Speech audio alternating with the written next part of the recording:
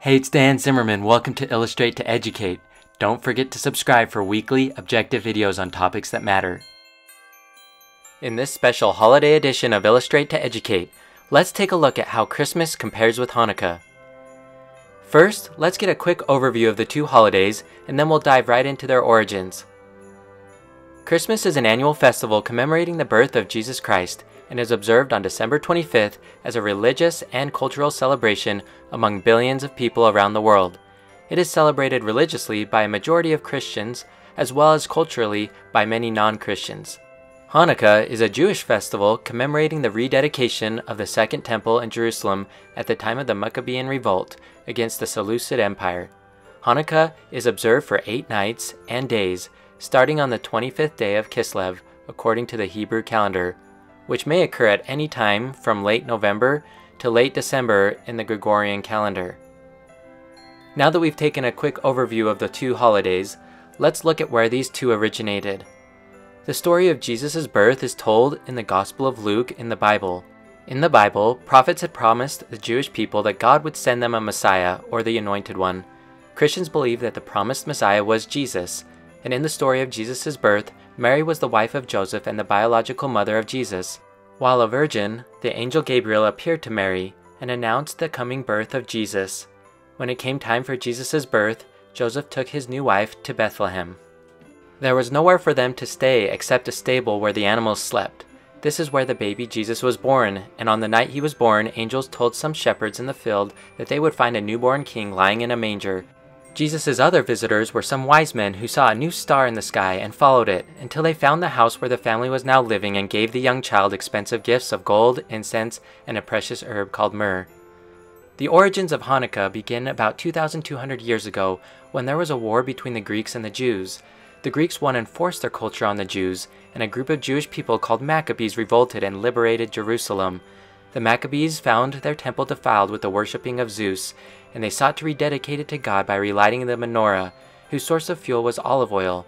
And according to the Talmud, the Jewish people only found a single jar of undefiled oil, and that oil was only enough to last a single day.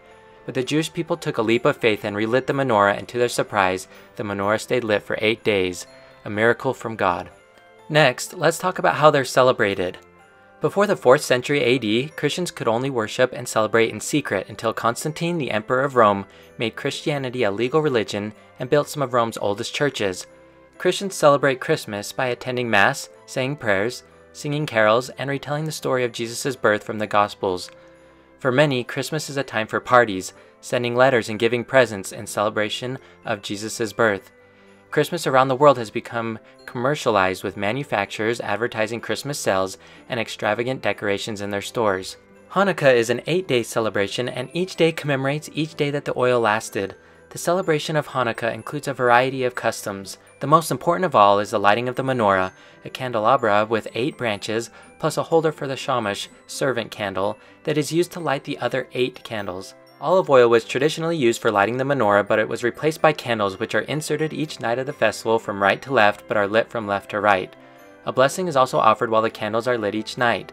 The Hanukkah observance is also characterized by daily reading of scripture, reciting psalms, almsgiving, and singing of a special hymn.